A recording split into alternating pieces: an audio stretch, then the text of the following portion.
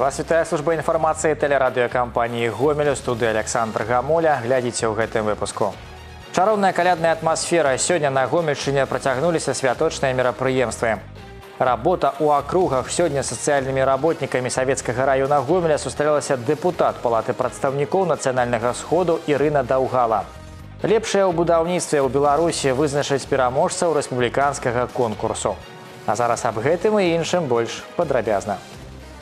Падарункі, касцюміраваныя шоу і тэатралізаваныя пастаноўкі. Сёння на гомельшчыне працягваліся святочныя калядныя мерапрыемствы. Некаторыя з іх наведалі нашы карэспандэнты. Гомельскі абласны радом адна з лепшых устаноў як па аснашчанасці сучасным медыцынскім абсталяваннем, так і па наяўнасці прафесійных кадраў. У усялякім разе жанчыны, якія нядаўна нарадзілі дзяцей, сваіх станоўчых эмоцый не ўтойваюць. Зараз у радоме каля 30 маладых матуль. Праўда, слова маладыя да некаторых падыходзіць толькі ў сэнсе ўзросту ўзросту. Шмат хто адносіцца ўжо да катэгорыі шматдзетных. Девочка у меня родилась, ну, вот чувство, ну, не передать словами, это такое счастье.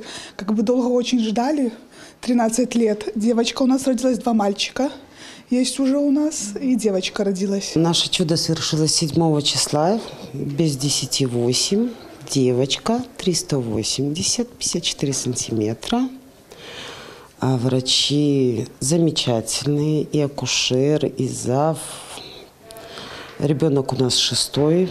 Што тычыцца персаналу раддома, то ён здаецца рады не менш за маладых маці. Урэшце ў нараджэнні дзяцей ёсць і іх заслуга. Кажуць, што не гледзячы на святочныя дні працаваць прыходзілася напружана. За 6 і 7 студзеня у гомельскім абласным раддоме нарадзілася 10 немаўлят. С районов области плюс и городские женщины. Э, Если брать в разрезе мальчики-девочки, то девочек получилось с преобладанием 7 девочек и 3 мальчика. На святкаванне каляду абласны раддом прадстаўнікі гомельскай епархіі прыходзяць з падарункамі. Электрачайнікі, танометры і мікрахвалевая печка для персанала бальніцы, сродкі гігіены для маладых маці. На руках шчаслівых жанчын дзеці, якіх архіепіскап гомельскі і жлобінскі Сцяфан называе не інакш як божым падарункам. Я надеюсь, что каждая из вас радуется этой жизнью и будет счастлива, что именно вы в такие святые дни родили своих деток.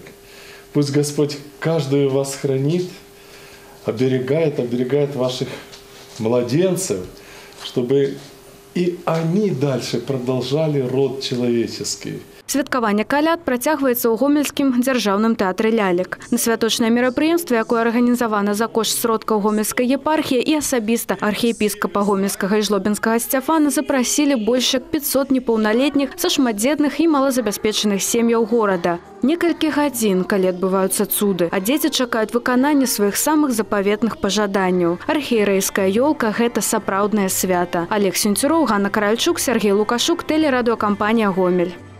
Спектакль каля спаса праабражэнскага храма і вялікі калядны канцэрт у грамадска-культурным цэнтры. Напярэдадні святы з нагоды дня нараджэння Хрыстовага таксама аб'ядналі маленькіх і дарослых вернікаў. Шароўная калядная атмасфера панавала ў кожным праваслаўным храме.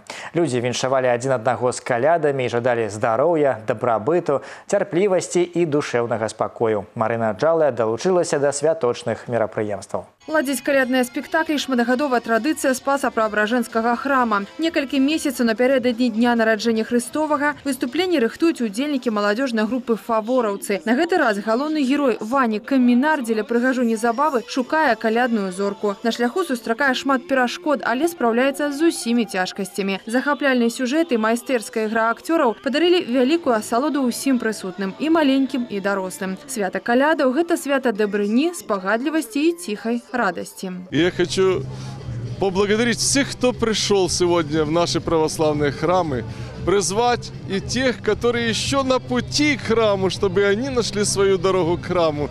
И дай Бог, чтобы эта радость Рождества сопутствовала нам в будущем всю нашу жизнь. А ў грамадска-культурным цэнтры ўсіх жадаючых чакалі на вялікі юбілейны калядны канцэрт. Ён адкрыў шэраг мерапрыемстваў, прысвечаных знакавым датам 95годдзю з дня ўтварэння і 30годдзю з дня адраджэння ў гомельскай епархіі. Сімвалічна, што на пачатку 2020 года на сцэну выйшлі менавіта 20 калектываў з розных куткоў Гомельшчыны. В этом году совсем другие э, творческие коллективы показываем, показываем э, нашу молодежь, э, которая впервые выступает на этой сцене. Это тоже радует.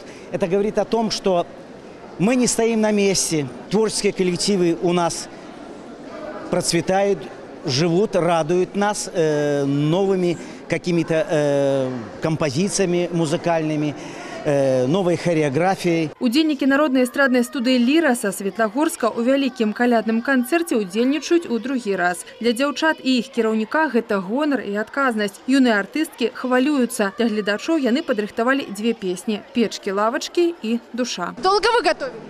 Да. Да. Сколько времени? Полгода. Полгода. здесь так. Я Вы- приехала сразу, я один день, мы песню сразу выучили, у меня все вышло. Да. А потом у нас шли только тренировки по танцам. Да. Волнуетесь? Да. Нет. Добрая традыцыя калядаў дарыць час сваім блізкім. Некалі ў першыя дні каляднага тыдня былі распаўсюджаныя візіты. Неабходна было наведаць родных і блізкіх. У наш час, вядома, можна абысціся тэлефонным званком. Галоўнае даць зразумець неабыякавым табе людзям, што ты іх памятаеш і жадаеш ім усяго самага добрага.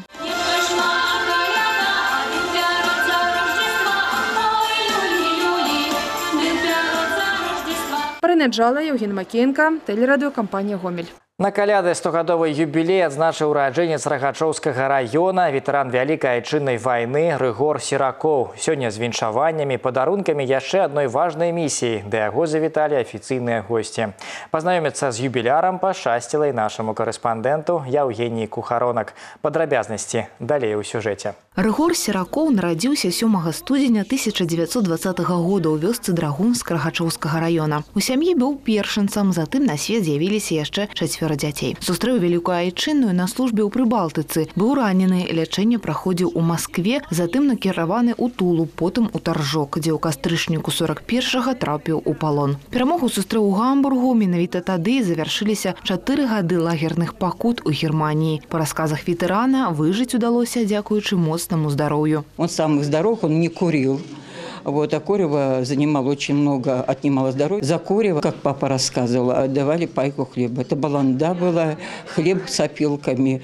И его, как сильного красноармейца, забрал э, хозяин себе работать. Вот он и сохранился. Потом от одного хозяина к другому. Пасля вызвалення з палону Рыгор Серакоў быў накіраваны на Донбас для будаўніцтва шахты. На радзіму ён вярнуўся толькі ў 1946 годзе, а жаніўся з зямлячкай, з якой выхаваў чатырох дзяцей. Сёння ў юбіляра ўжо ёсць сем унукаў і столькі ж праўнукаў. Многія члены сям'і жывуць у іншых гарадах Беларусі і нават розных краінах свету, аднак яны па-ранейшаму не страчваюць сувязі. С детей Надя звонила с Москвы,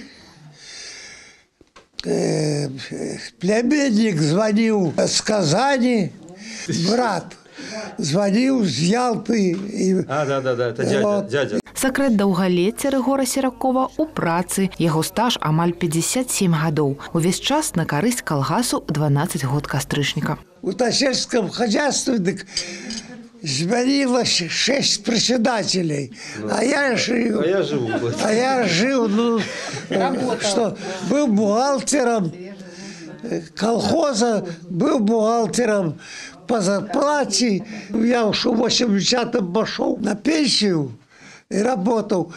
В последнее время пришлось даже самому на сеянцы ездить. За ўрачыстасцямі нельга забываць аб афіцыйных справах. Літаральна учора ў Рыгора Серакова завяршыўся тэрмін дзеяння яго пашпарту. Змена галоўнага дакумента грамадзяніна Беларусі для доўгажыхара прайшла ў цёплай атмасферу ў асяроддзі родных і гасцей. Евгеній Кухаронак, Сергей Лукашук, тэлерадыёкампанія Гомель. Дэпутаты палаты прадстаўнікоў нацыянальнага сходу Рэспублікі Беларусь працягваюць работу ў акругах. Сёння сацыяльнымі работнікамі савецкага раёна Гомеля сустрэлася член пастаяннай камісіі па заканадаўстве Ірына Даўгала. Работа ў акругах працягнецца да 10 студзеня. У планах дэпутатаў асабістыя прыёмы грамадзян, удзел у дабрачынных акцыях, сустрэчы з працоўнымі калектывамі. Сярод асноўных задач, пастаўленых прэзідэнтам падчас сустрэчы з дэпутатамі 5 снежня, расказаць выбаршчыкам дакладчыкам аб нюансах дзейнасці парламента. Па словах Ірыны Даўгала, дэпутатам, якія абраныя ўпершыню, неабходна яшчэ шмат чаму вучыцца. Але ўжо зараз можна сцвярджаць, што гэта цікавая і адказная работа. Такія сустрэчы будуць працягвацца і далей, прычым размова будзе весціся з улікам прафесійных асаблівасцей коллективов. Отвечаю за подготовку законопроектов. Вот у меня идет изменение в законы о промышленной безопасности, о грузоперевозках непосредственно опасных грузов. То есть, да, то есть, конечно же, ну, наверное, это не совсем интересно, допустим, этой категории людей, а более интересно, допустим, для представителей трудовых коллективов промышленных предприятий. Поэтому, конечно же, ну, наверное, акценты. А основная, конечно, часть о том, а, как работает парламент, вот как, допустим, прошла первая сессия, какие вопросы выносились, как они рассматривались, как подготовка шла, то вот эти моменты, конечно, мне хочется людям рассказать независимо от того, в какой сфере они работают. Конкурс на лепшае дасягненне ў будаўнічай галіне за мінулы год стартаваў у Беларусі. Удзельнікамі могуць выступаць арганізацыі прадпрыемствы будаўнічага профілю, а таксама установы адукацыі, якія рыхтуюць спецыялістаў для гэтай галіны. Дакументы для рэгістрацыі трэба прадставіць да 15 сакавіка. Вынікі падвядуць у красавіку. Падрабязную інфармацыю можна знайсці на сайце Мінбудархітэктуры. Белтелерадиокомпания открыла прием заявок на удел у национальном отборочном туре конкурсу песни «Евробачение 2020». Подать их можно до 17 студеня на официальном сайте Белтелерадиокомпании tvr.by. После этого сформируют спис удельников кастингу, які опубликуют на сайте не позднее за 22 студеня. Прослуховывание запланировано 27 студеня. По его выниках вылучать каля 12 финалистов. Пераможцу национального нацыянальнага адбора вызначыць галасаваннем прафесійнага журы і гледачоў падчас шоу прамым эфіры ў сакавіку. Нагадаем, юбілейны 65 конкурс еўрабачання пройдзе ў нідерландскім горадзе Роттердам. Паўфіналы адбудуцца 12 і 14 мая, фінал 16 мая. Беларусам прапануюць выбраць аднаго з трох прэтэндэнтаў на званне птушкі 2021 года. Онлайн-галасаванне праводзіць грамадская арганізацыя ахова птушак бацькаўшчыны. Птушку года выберуць 8 лютага з трох кандыдатаў. Два з іх вызначаныя рашэннем цэнтральнага савета і сакратарыята грамадскай арганізацыі. Гэта звычайная галубка і трысняговая аўсянка. Трэцяя птушка будзе абрана ў выніку інтэрнэт-галасавання, якое прадоўжыцца на сайце ахова птушак бацькаўшчыны да 1 лютага ўключна. У апытанні можа прыняць удзел любы жадаючы. Так трэцім кандыдатам могуць стаць шэрая мухалоўка, звычайны казадой і берагавая ластаўка. Можна прапанаваць і свой варыянт, але тыя віды, якія ўжо атрымлівалі званне птушкі года ў Беларусі, не могуць стаць намінантамі. Як паведамляе белгідрамет кліматычная зіма ў краіне яшчэ не наступіла, плюсавая тэмпература ў рэгіёне захаваецца і на гэтым тыдні. У бліжэйшыя дні нас чакае некамфортнае надвор'е. Так у чацвер будзе да плюс 4 градусаў, магчымы дажы і туман. Ападкі прагназуюцца і ў пятніцу. У дзень будзе 2 градусы цяпла. У суботу абласным цэнтры ізноў пацяплее да 5 градусаў чакаецца дождж. Калі верыць доўгатэрміновым прагнозам, маразоў да канца студзеня можна не чакаць. Магчыма, што гэта зіма для беларусаў стане самай цёплай за некалькі стагоддзяў. Гэта і іншыя навіны вы можете знайсці на нашым сайце ў інтэрнэце па адрасе трайное w кропка тивергомел кропка бівай. На гэтым выпуск завершаны. Дзякуй за ўвагу і да сустрэчы ў эфіры. Де-факто на телеканале «Беларусь-4» в студии Руслан Габрилев. Здравствуйте. Оторванные пальцы, переломы и ожоги. В празднике на Гомельщине из-за пиротехники пострадали 11 человек. Среди пострадавших четверо детей, сообщили в МЧС. Это подростки из Жлобина, Светлогорска и Рогачева. Одному из пострадавших мужчин взрывом петарды ампутировало пальцы. В МЧС напоминают, что приобретать пиротехнические изделия нужно в легальных магазинах, а при обращении с фейерверками следовать инструкции и правилам безопасности. В Будоках Кошелевском районе столкнулись ВАЗ-грузовик. Водителя легковушки пришлось доставать работникам МЧС, но спасти мужчину не удалось. ДТП произошло поздно вечером 5 января на трассе М8 недалеко от деревни Уза Будокошелевского района. В результате столкновения внутри ВАЗа оказался зажат водитель. Спасатели достали мужчину из искореженного авто и передали медикам. Но, как стало известно позже, пострадавший умер. В Гомеле пьяный водитель насмерть сбил пешехода. От полученных травм переходившая дорогу женщина погибла на месте. Трагедия произошла около 8 часов утра 7 января. 27-летний водитель «Опеля» ехал по улице Ильича. На пересечении с Ленинградской он сбил 55-летнюю женщину. По предварительной информации, она переходила дорогу на зеленый сигнал светофора. Нарушение правил эксплуатации печного отопления – наиболее вероятная версия причины пожара и гибели на нем человека в деревне Филипповичи Петриковского района. Когда они вошли вошли внутрь, то увидели на кровати хозяйку. Женщина не подавала признаков жизни. В МЧС настоятельно рекомендуют не пренебрегать правилами обращения с отопительными приборами. Это вся информация выпуска. В студии работал Руслан Габрилев. Благодарю за внимание. До свидания. На телеканале «Беларусь-4 Гомель. Новости спорта» в студии Максим Савин. Здравствуйте. Жлобинчане – призеры «Золотой шайбы». Финальный этап республиканских детских соревнований по хоккею в старшей возрастной группе дивизиона А прошел в Минске.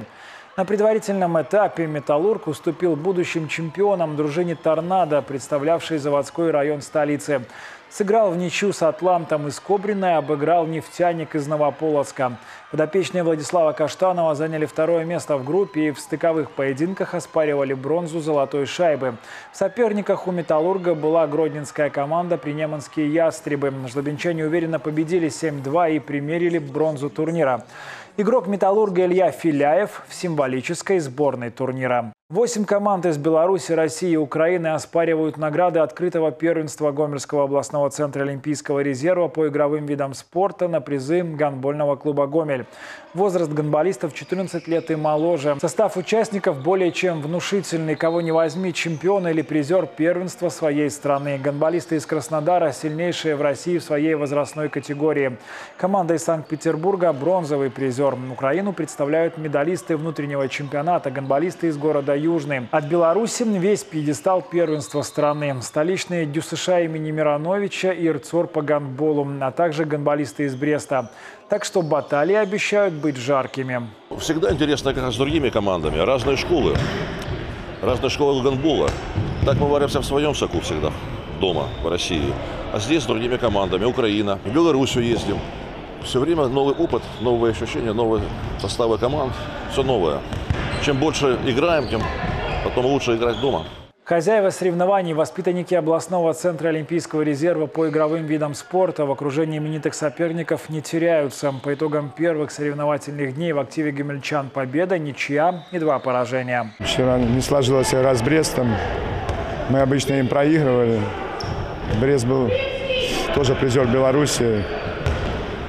Мы всегда им проигрывали, и они не поверили, что они могут. Сегодня с Сором тоже играли до последних минут, ничейный счет. И опять не поверили чему-то. В себя пока еще не верят. Но вот на таких турнирах они как бы набираются уверенности. Турнир проходит по круговой системе. Победители определятся 10 января. Первенство области по гребле академической на тренажерах «Концепт» среди юниоров пройдет в Гомеле 9 и 10 января. Соревноваться будут спортсмены из областного центра Мозыря, Светлогорска и Жлобина. В программе первенства заезды на 2 и 5 тысяч метров. Победителям 24 и 25 января примут участие в первенстве Беларуси. Республиканский старт пройдет в Полоцке. На этом пока все. С новостями спорта вас знакомил Максим Савин. Оставайтесь на «Беларусь-4».